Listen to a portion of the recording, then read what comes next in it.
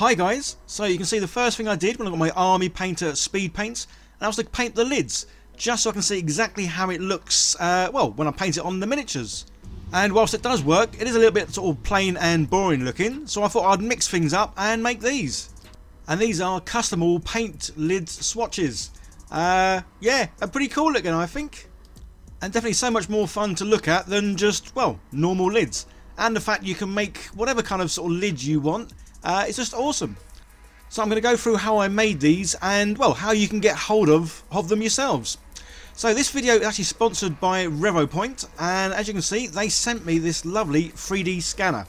Um, yeah, it's something I've kind of wanted for a while now. Obviously I am 3D printing for about the last two years uh, and I thought being able to sort of scan in your own things to then print out just sounds really really awesome. So yeah, nice little simple setup this really. Uh, it's quite compact, uh, very nice looking. Obviously comes with a little tripod so that just attaches nice and easy. And it also comes with a little turntable, which is pretty cool. Um, and yeah, you do get a little sort of miniature thing in this, just as a sort of like a tester to have a go at scanning. Um, but obviously with this scanner, you can scan, well, whatever you want really. Um, I mean, if you wanted to, not that you should do, because obviously uh, it's against Warhammer's IP and all the rest of it. Um, so yes, I'm not saying you should scan in Warhammer figures, guys. I'm just saying it's a possibility. Nudge, nudge, wink, wink, all that sort of stuff. Um, but obviously in this case, it's these. This is what I want to scan in. I want to make my own lids. Um, and yeah, make some fun lids. So that's exactly what I'm going to have a go at scanning here. So one thing I do need to mention here guys, this is my first time ever using a 3D scanner. So this video is in no way a sort of like a how-to. This is just a, this is how I've had a go at using one uh, and my experience of it. So yeah, if you want to go sort of find out how to use 3D scanners, I would highly suggest, uh, well, looking on YouTube for people who know what they're doing.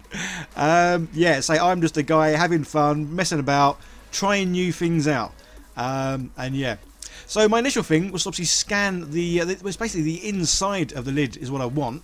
Uh, just because obviously I want to scan the inside of the lid to make sure that whatever I make will then sort of fit onto the bottles. So again, it's all a bit of a learning curve. Um, I was trying to scan the inside, uh, having a few issues though. So first time ever using the scanner, so it was a case of trial and error. Um, and the one problem it does seem to have is shade, shadows. Uh, I have watched a few videos on how to use one of these, and the main thing everyone says is it doesn't scan black. So there's obviously shadows caused inside the, uh, the lid, and that's why there's a large area that, uh, yeah, it purely isn't scanning. So I tried and tried and tried um, a variety of things, moving the camera different positions, getting it further higher above it, below it, but none of them seemed to work. Um, so yeah, so then I had a bit of a, change of plan.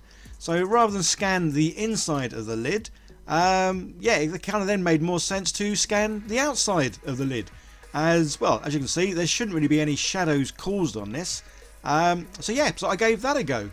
But I also had a few issues with that, and the main thing for that was um, it's quite shiny. So again, bit of a learning curve. It doesn't sort of scan in black areas and shiny things it doesn't do. So I thought I'd have a go at sort of doing my matte black because it is a, a nice matte. Uh, but say black doesn't go in even if it is a nice matte black. So then I did a, a grey primer. Um, and yeah, definitely more better results with this. So again, it is a case of trial error, trying new things, uh, and just sort of adapting and changing as we go. It's like the speed as well. This thing, uh, this little turntable has got a controllable speed to it, which is really awesome. So I turned mine right down. Um, just obviously this captures like frames per second. So the slower this is going, the more frames, um, and yeah, the better the thing will look. I have speeded some of this footage up now though guys. Um, I did have this thing turning very very slow. Um, but yeah, great results from that. And then there's a whole variety of options on how you can sort of improve the image and what you've got. Again, big learning curve and I'm definitely not showing you how this should be done. As say, this was my first attempt at doing this. Um, although I, I was, did get very excited the fact that I can, or you can scan things in. Um, and, and then yeah, then go and print things out. And I've been using and absolutely love 3D printers for the last two years. So now to have a device that can actually scan things in um, to then print out is just, yeah, I really am like a kid in a toy shop. It's just absolutely amazing. So I took the file, saved it, uh, and imported it into Tinkercad. Again, this is where my skills in, well, I'm not even going to call it 3D modelling. Uh, but yeah, using 3D items, my skills are very lacking. Um, again, big learning curve. So Tinkercad, nice and free, nice and easy. Quite limited to what you can actually do, but for me it's, it's great because you can add things and take things away.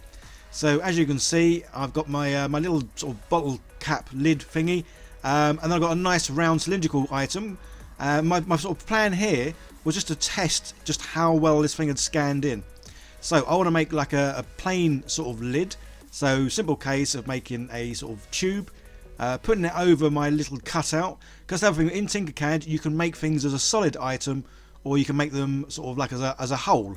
Um, and that's what I'm doing here. So I'm going to use my sort of scanned in item to take away from the, uh, the and then that leaves the thread inside, uh, yeah, my sort of plain tube. So again, this was just a little test just to make sure um, it did fit the, the bottles. So obviously the last thing you want is to make one of these, put it on a bottle, and it to be loose, and well, your paint dry out. So yeah, simple case of obviously removing the uh, the old lid, um, and yeah, trying this out and seeing just how well it fitted. And yeah, pleasantly surprised and very happy that it was a lovely snug fit, meaning that the thing I scanned in did work, and I could use that as a cutout um, well, for whatever I really want to. So that's why I say these these lids are very customizable because you can basically make whatever lid you want because all you got to do is use this little um, little STL cutout that I've now got. Um, and yeah, it will then fit onto well onto these bottles, which is just awesome. So yeah, guys, um, I will be putting this file as an STL over on my Patreon page. So I'm gonna I'm gonna leave links, or I'm gonna put the um, this little Batman figure and some other figures there as well. But I'm also to put obviously the uh, the threaded inside bit um, just so you can make whatever you want. And it is just a simple case of getting figures or whatever it is you want, making sure it's not obviously too big, but big enough that you can put the uh, the threaded bit on the inside. And it says this is a case of grouping them together. Uh, when you group them together, it does the hole and it takes that hole out of well the item that you're uh, that you're putting it on. And it really is that simple. And I say that's why these are so customizable because well if I can do this anyone can. I say Tinkercad it's a free software uh, just to download it. And yeah very simple. Um, again most things. Look on YouTube and you'll see lots of people there showing you exactly how to use this in a much better way than uh, than I could um, but yeah there you go so the thread is now sort of cut out into my little uh, little fat Batman uh, Buddha Man. Uh, and yeah, so rather than just using the plain little thing here, I've now got this lovely little chunky guy, which I'm sure is modelled on me. Um, and yeah, I think he's so cool. So I was almost tempted to print out 50 of these and change all my bottles. Um, but the thing is though, yeah, it, obviously it'll take quite a while. So that's why I was just having a bit of a mess about doing a few just to see how they looked. And then yeah, it's simply a case of just painting it. So with this one, obviously as you can see, I've painted it white. All the bottles in the background, I've done them as a slap chop. So the bottle lids were primed in black, dry brush grey, dry brush white, um, and then the paint's put on. Mainly because obviously that's how I do most of my painting with miniatures. Um, but for this little test, I just fancied painting him just plain white and, and, then seeing how he comes out. And again, this is why it is worth doing this because as you can see on the, the bottle, um, it looks more of a brown than this should be but on the miniature it's come out looking well almost orangey. So again this is why whatever sort of primer you would normally use for your miniatures that's what you want to use on these sort of bottle lid swatches. Um, just so you can see exactly what what it is and what it looks like which is just cool uh, and yeah so these files um, I got these from Thingiverse again most things I like to get are from Thingiverse and one of the main reasons for that is they all come under, or you have to check which ones they are, uh, but yeah, they come under the Creative Commons license, which basically means you can then take them, adapt them, change them, do what you want with them, um, and then yeah, in many cases you can then go on and sell them. So yeah, that's why I like Thingiverse, just to get sort of a rough sort of thing to use, and then I amend them and change them. So again, all the uh, the STL files for these four miniatures are on my Patreon page, as well as the basic um, sort of cutout to use to make your own. I just want to say a big thank you to RevoPoint for sponsoring this uh, this video and obviously sending me their lovely 3D scanner. So there's a link down below guys, go and check them out. Um, yeah, these things are absolutely amazing. Say, relatively easy to use. It is a learning curve um, and I will be scanning more things in. So definitely keep an eye out, guys, for other sort of things I'm going to scan in. Um, and I think one of them is definitely going to be my head, as I really fancy making myself into a space marine. So yeah, keep an eye out for that one. And don't forget, guys, if you want to become a patron, um, obviously it helps support the channel and means I can continue making videos.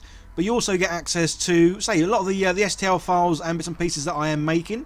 They are all there to download. Uh, as well as every Monday, I do a video sort of showing what I'm going to be working on that week. Um, as well as occasional pictures and videos of updates of yeah of things I am sort of working on. Honestly, a big thank you to those of you who are already a patron. Thanks so much. Uh, as well as Chaos Cards for helping uh, support the channel. There's another video on the, uh, screen, guys. Give that a click, see more of what I do. And if you are new here, hit that subscribe button, turn on the bell, like, share, subscribe, all that good stuff. You guys all take care, and I'll see you in the next one. Bye for now.